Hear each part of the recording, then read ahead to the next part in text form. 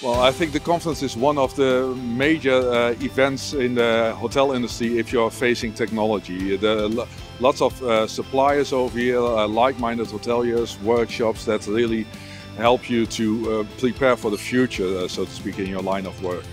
Well, a, a lot, uh, what I really like is if you have sessions with with panels where you have the discussion. Okay, how this did this happen to you? Um, what was your experience on a a new product or a new feature or the technology uh, that's changing in, in, general because it's something that you're also always uh, thinking about but it's good to hear experiences uh, from others as well.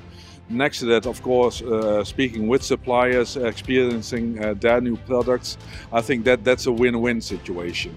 Yeah, I think it's really good to have those one-on-one -on -one, uh, sessions, particularly also with companies that you might have not heard about. Uh, and then when you start speaking with them, you say, okay, that's actually quite a, a nice product uh, that you have. That's uh, interesting. I did not know about you, but now we might think about you. And it, it offers us as a hotel group also a new perspective, basically.